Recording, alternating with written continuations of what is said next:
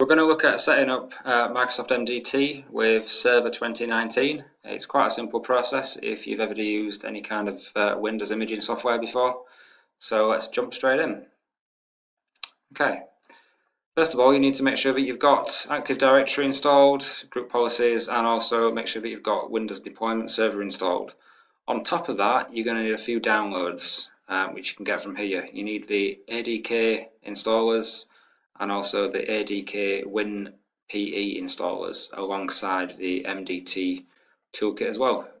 Both of which, or all three of which, you can get from these download links, which I'll put in the video description as well. So when you've got these, they are quite small downloads, but this one particularly is quite a large download on top of this. It downloads around 6 gig, so be prepared if you've got a slower internet connection or you're testing at home with a slower connection on your test rig, um, be prepared for a, a reasonable size download. Once you've got all that installed, if we go ahead and open Deployment Workbench, from standard, uh, Deployment Workbench comes empty. There's nothing in there. You have to create your own deployment share. Uh, and you do that by right-clicking on Deployment Share, click New Deployment Share, and just follow the wizard. So we can specify a location or a disk where we want to save a deployment share, whether you want to save it on the C drive or whether you want a dedicated disk. Of which I think I've already got one. So let's get rid of that. Okay. Um, keep the default deployment share name and the default descriptive name. Okay, so I'm not going to want to have MDT ask me for a computer backup or whether an image should be captured, and I'm not bothered about BitLocker. Um, all these options we're going to cover in the rules to make it as minimal touch as possible. Okay, so let that finish and go ahead and create the new, new deployment share. Good. Okay, so here's our new deployment share. Nothing in there at the moment, no task sequences, no operating systems. So the next step would be to add a new operating system. So right click on operating systems. Okay, so we're going to use a full set of source files. So a set of files come from the disk or from an ISO downloaded from Microsoft. You've also got the option to use um, a WIM, which you may have created yourself, or an existing WIM in WDS, but we're going to import the source files. So I will put in the Windows 1809 disk. Okay. And we need to specify the root of the DVD drive. Click Next. Follow through the wizard. That will now scan the disk and find the WIMs and import them into the deployment share. So we'll give that a few minutes to do what it wants to do. Finished now, a couple of percent left. So we'll just leave it to finish off.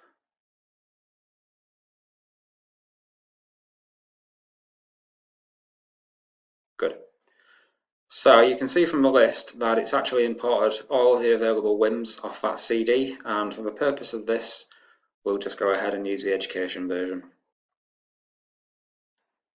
So quite simple, we can just highlight the ones we don't want, right click, click on delete click on next and that will then remove the WIMs that we're not going to use. Okay, so let's look at setting up our rules on the deployment share.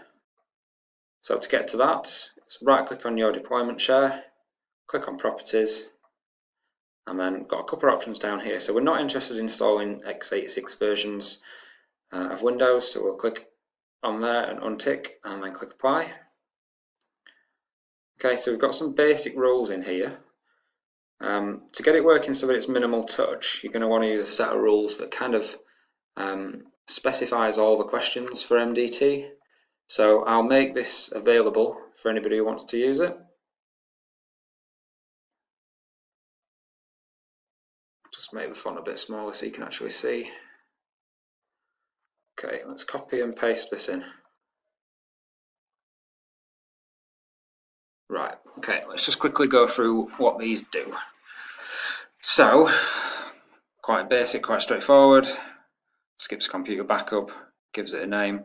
Uh, I don't think I need to go through them all, but the basic ones really. It sets the locale of the computer, of the keyboard, sets a local admin password, domain that you want to join, domain administrator account or any administrator account, domain password, make sure that's right or it won't join. Um, the machine OU when you actually, actually want to put the, the computer account once it's joined. Uh, let's see, uh, WSUS for Windows is going to actually pull any updates during the install. And basically just a long list of what you want to skip. So whether you want to skip certain parts um, of MDT. And to make it as minimal touch as possible, we're also going to skip the deployment sequence so it doesn't ask us what deployment sequence we're going to use, but also specify the deployment sequence that we do want to use. So for this purpose, we've called it 0001. Okay, click apply on there. So we also want to make sure that we've got a deployment root set as where as actual deployment is set as.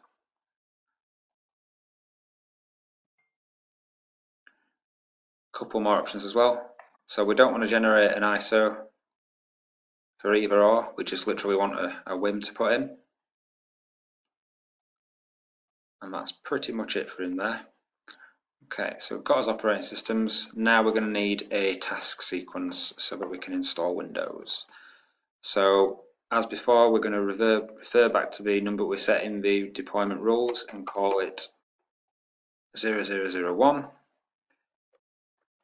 give it a friendly name and we want to have a standard client task sequence. Select the operating system that we want to roll out. Uh, we don't want to specify a product key because we're going to use KMS. Give it a name.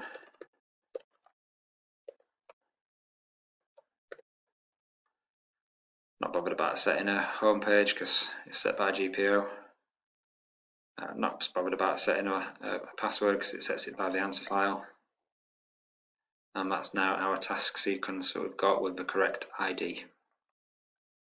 Good. Uh, one more step left. So we need to now create a um, a boot image so we can actually boot to the, the deployment share and we do that by right clicking on the deployment share, clicking update deployment share, and clicking completely, re completely regenerate boot image. So I'll wait for that to finish and I'll be back to you in a couple of seconds. Right, okay, you can see that's done. Uh, click finish. Okay, so now we have got our boot image. We need to then open up Windows Deployment Server and click on boot images and we need to specify the image we've just created.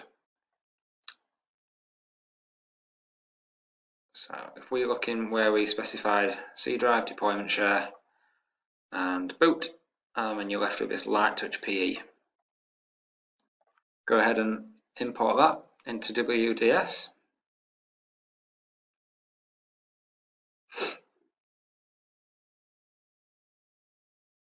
Shouldn't take too long. This uh, this step only takes about 30 seconds or so.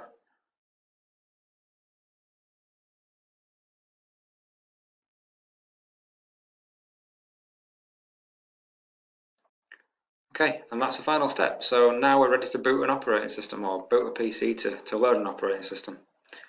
So let's bring up another virtual machine. Just check that we're booting to network adapter which we are. Give it start.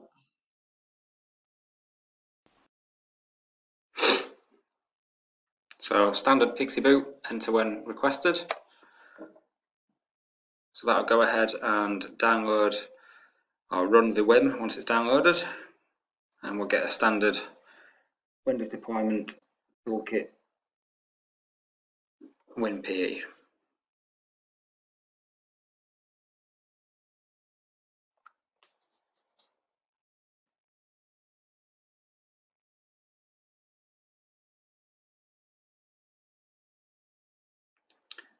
Um, just a side note, if you do get this, this is when you've ran previous deployments on the machine uh, and not completed them. So it's safe to ignore and just click yes.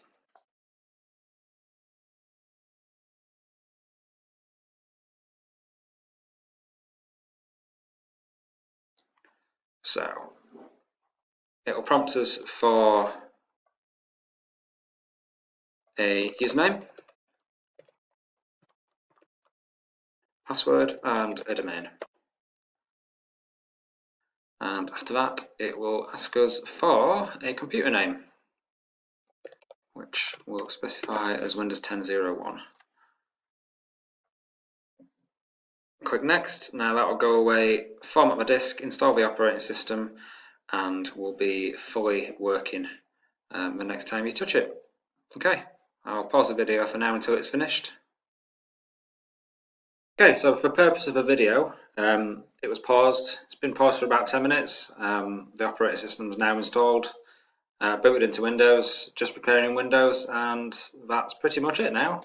Um, it'll be waiting at the login prompt, joined to the domain uh, with the name we gave it, all ready and working. So I hope you enjoyed the video. Um, please comment, and I'll post some more as soon as I can. Cheers.